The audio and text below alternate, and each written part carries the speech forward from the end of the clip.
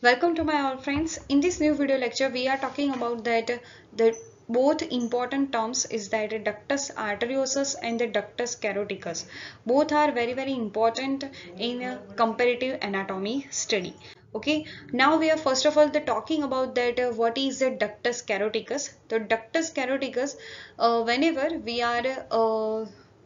talking about the ductus caroticus when the third and the fourth aortic arc which is merging with each other and making one type of the connection between the third and the fourth arc is called that ductus caroticus okay? Now you see that this picture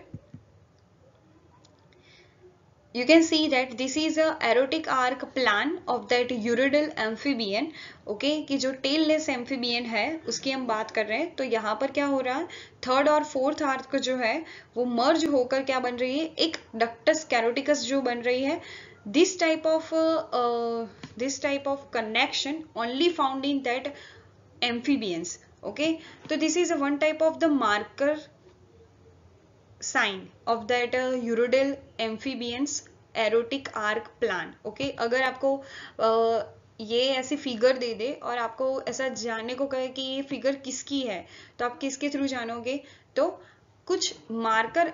जो sign है वो अभी याद रखने होते हैं। तो ये जो डक्टस कैरोटिकस है which is a marker sign of that urodele amphibian now we are talking about the ductus arteriosus okay ductus arteriosus is what तो ductus arteriosus is that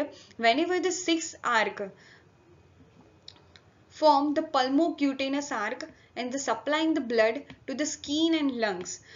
However, it also retains the connection with the radix aorta called that ductus botali or ductus arteriosus. यानी कि ये क्या कहना चाह रही हूँ मैं यहाँ पर कि जो सिक्स आर्क होती है हमने पता है कि वर्टिब्रेट का जो एम्ब्रियो होता है, उसके अंदर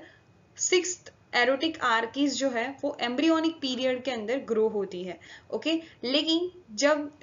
whenever we are talking about that different types of organisms having that different types of habituatory functions okay यानी कि कुछ जो एनिमल्स है, वो ऑलवेज एक्वेटिक एनिमल्स के अंदर एक्वेटिक एनवायरमेंट में ही रहते हैं ओके okay?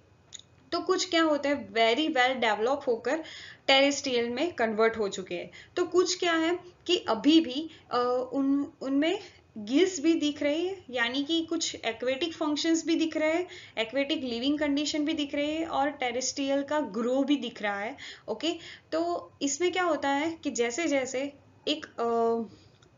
स्किन और लंग्स को ब्लड प्रोवाइड करने के लिए, जब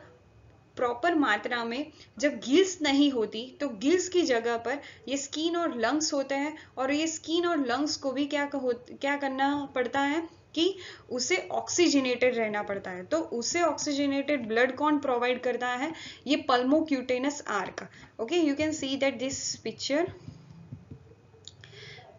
this one okay तो यहाँ पर आप देख सकते हैं कि जो uh, गिल्स है। यहाँ पर आपको कोई भी गिल्स नहीं दिख रही है ओके तो गिल्स की जगह पर यहाँ पर क्या हुआ है कि पल्मोक्यूटेनस आर्क जो है, वो क्या कर रही है? स्किन और लंग्स को ब्लड प्रोवाइड कर रही है ओके और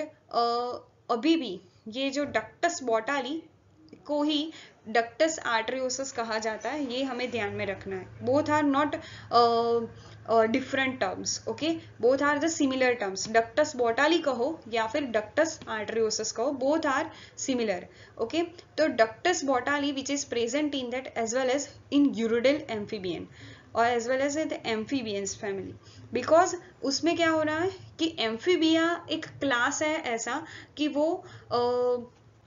aquatic as well as terrestrial दोनों एनवायरमेंट में सर्वाइव कर सकता है ओके okay? तो उसमें कुछ ऐसे फ़ंक्शंस होने चाहिए कि जिसके थ्रू ये सर्वाइव कर रहा है तो this is a basic terms which are always asking in viva as well as in our exams so that focus in this two terms what is the ductus arteriosus and what is the ductus caroticus now we are talking about the ductus caroticus means that the third and the fourth arch merging with is other and making one type of the connect it is called the ductus caroticus. But whenever talking about that the sixth arc which forms the pulmocutaneous arc and it is also connected with the lateral dorsal aorta of the radix okay and making the ductus botalli or also called as a ductus arteriosus. I hope you are clear about that what is the meaning of the ductus arteriosus and ductus caroticus. Thanks for watching my video